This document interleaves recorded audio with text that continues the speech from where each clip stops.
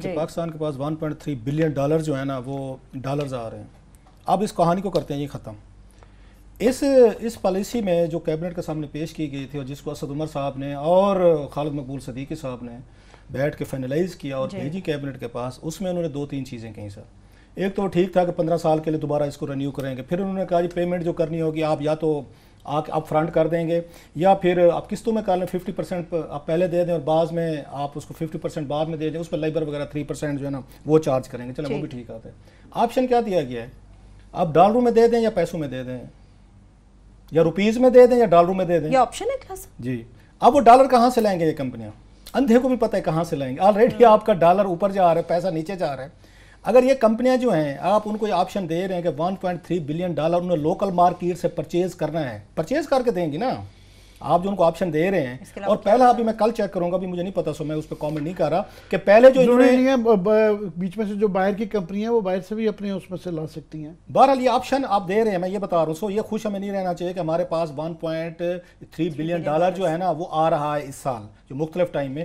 So option दिया गया है कि या आप डॉलर में दे दें या पाकिस्तान रुपीज़ में दे दें।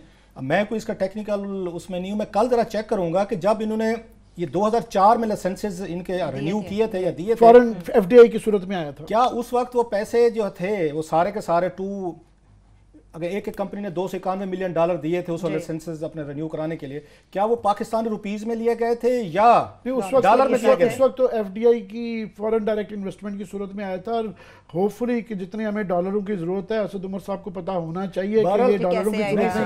ऑप्शन ये होनी नहीं चाहिए। आप इन्होंने ऑप्शन दिया सर उनको कंपनीज़ को कि आप डॉलरों में दें या आप आप पाकिस्तानी करेंसी में दे सो पाकिस्तानी करेंसी का मतलब बड़ा सिंपल सा है कि अगर आप वो जाते हैं यहाँ से आके बाइंग करते हैं डॉलर की सपोजली तो फिर आपका ऑलरेडी डॉलर स्ट्रेस के अंदर है अगर वन बिलियन डॉलर के करीब वो खरीदते हैं यहाँ से हमने देने हैं उनको तो ये तो मेरा ख्याल है इट बाउंड भी वो जो बात आप और हम कर रहे हैं ना वो नहीं होगी। लास्ट के मैं कमेंट कर दूँ लंबी बात होगी क्योंकि इस तरह की चीज़ें थी।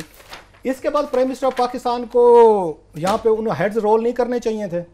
कि मुझे आपने छह महीने तक ब्रीफिंग करवाई मुझे आपने बैठ के यहाँ कहानियाँ सुनाई इजलास कराए कमेटियाँ चलवाई सब कुछ किया छह महीने बाद क्या खाया पिया कुछ नहीं गिलास थोड़ा बारह ने आपका टाइम जाए क्या मुल्क और कौम का टाइम जाए क्या महीना सारा रह गया है और आखिर पे सारी चीज़ें उठा के आपने उसी को फ्रिक्वेंसी एलोकेशन बोर्ड को आपने वापस करनी थी तो ये एक्सरसाइज आपको जो करवाई गई है हाँ। तो इसके बाद वजी अजम साहब को कुछ अथॉरिटीज अपनी इस्तेमाल करनी चाहिए कि आपके बारे में लिखा है फ्रिक्वेंसी एलोकेशन बोर्ड के ब्रिगेडियर नईम साहब ने कि आपको इल इन्फॉर्म रखा गया है इल एडवाइस किया गया लोग उन्हें आपसे झूठ बोले हैं, झूठ बोल के उन्होंने कमेटियाँ बनवाई हैं ताकि इतना बड़ा जो हमारे पास पैसा आ रहा है, हमने निगोशिएशन करने हम खुद करें इस पर बहरहाल